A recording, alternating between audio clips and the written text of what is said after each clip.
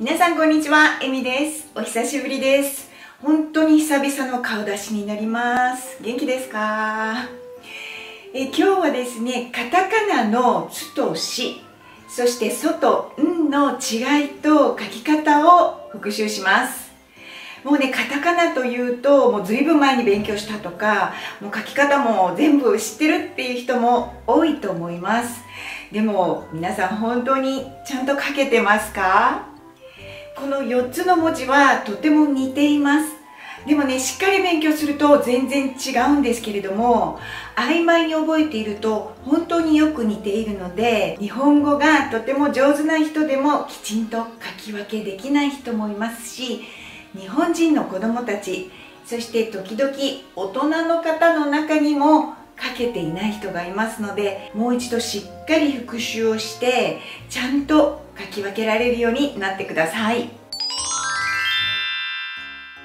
ではまず最初にこちらのカタカナの言葉を見てください。さあ皆さんこちら読めますか？まず最初はメキシコ。国の名前ですね。キッチン。ツイッター。そして孫さん。韓国人の方の名前に多いですよね。それぞれの言葉にさっき言った4つのカタカナが入っています。しつつつそん。皆さんはっきり読めましたか？では続いてこちらを見てください。皆さんは読めますか？私は読めません。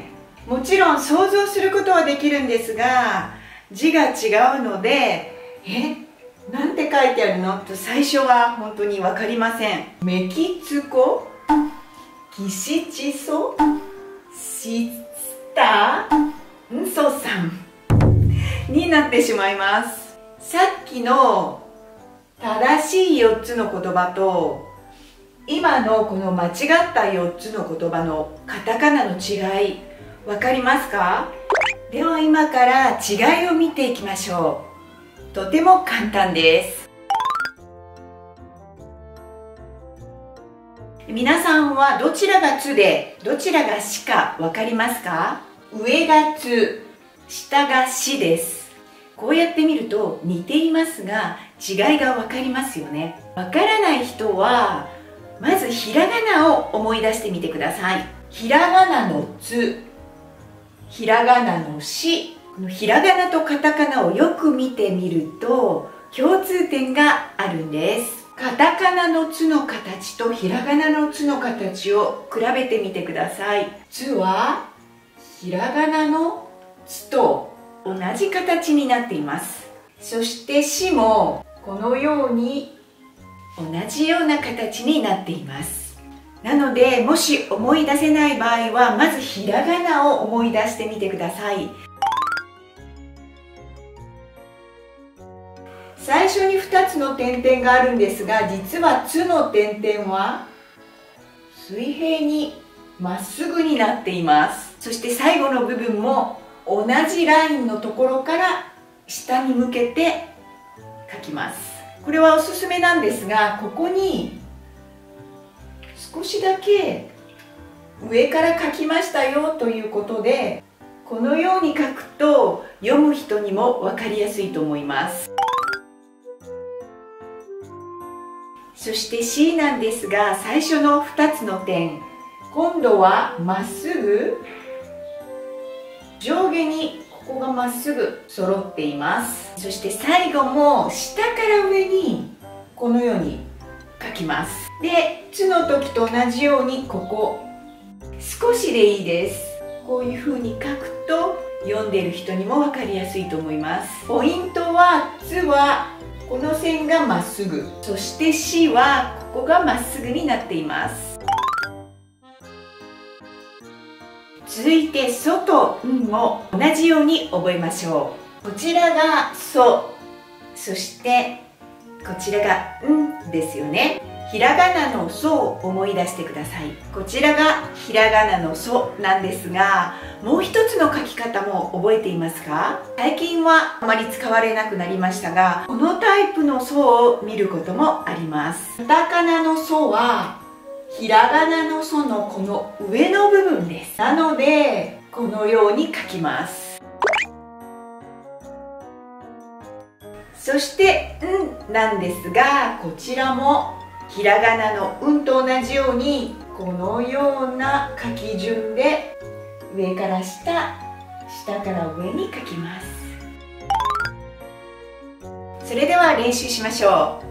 これらの言葉が正しいかどうか考えてみてください。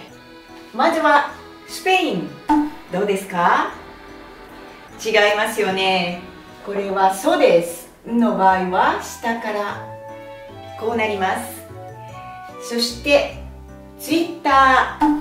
こちらはどうですか？つ合ってますよね。小さなつも合ってます。正しいです。コロンビア。正しいです。ソース。これはどうですか？そ正しいですね。そしてパン。ん。これはそうです。パンのんはなので間違っています。メキシコ。どうでしょうか？これは読めますか？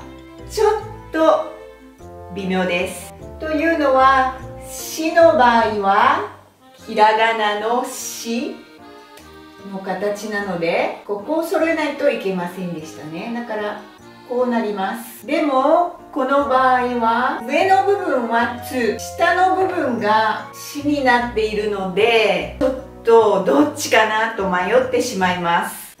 なので必ずこのように書いてください。続いてツーリスト。こちらはどうでしょうか？こちらも微妙ですよね。この上の2つの点が「し」「し」の点になっています。でも最後の部分が上からで「つ」の一部になっています。なので先ほどの「し」と同じようにこれも読むのが難しいです。必ず「つ」の場合は上を揃えて上から下へ。このように書くようにしましょう。最後は孫さん。お名前です。そん正しいですよね。